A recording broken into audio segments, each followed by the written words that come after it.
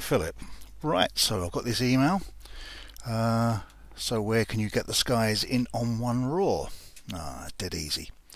So let's run.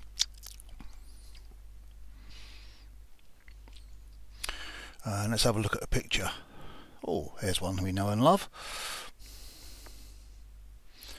So there's the picture, all ready to go, blown out sky, blown out the uh, lines. Where we want to go to, you can ignore develop, you can ignore effects. Let's go to layers. We'll take the CR2 and render it into a PSD format.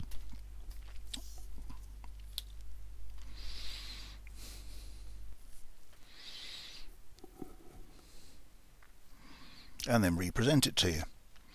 So what we want to do is add a, another layer, excuse me, uh, with the sky contained in it. So over this to the left here, uh, it might be hidden, so it might be like that. So you click on the little arrow at the bottom, bring this out. You have files which show you exactly what it says it will show you, files. But you have extra, and that's the one we want. Onto On1 extra, onto backgrounds, all sorts of things. But look, there's skies.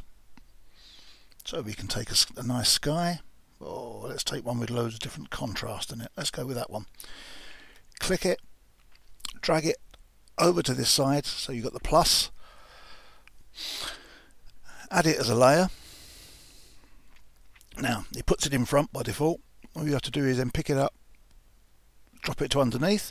And of course you won't see anything uh, because the, the original photograph is on top of it. But we'll hide the original photograph. There's the image. It's not big enough. So we'll do transform. Lift it out until it fills your picture. Lift it right there. Don't worry, that's it. Excuse me.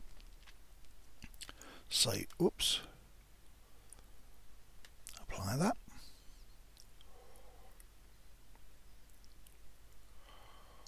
there we are. Back up to here again. Show it. You can bring that back to get the fuller picture.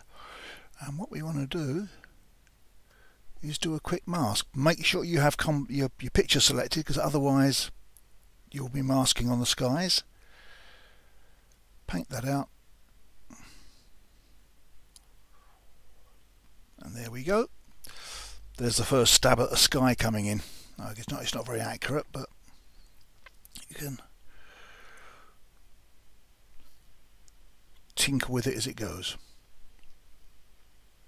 Okay, and you can see on the mask it's masked out the sky element of the picture, which lets your other sky come through. If you don't think the sky looks good enough, you can well you can move, you can go down to this layer and move it around. Okay, we'll save that.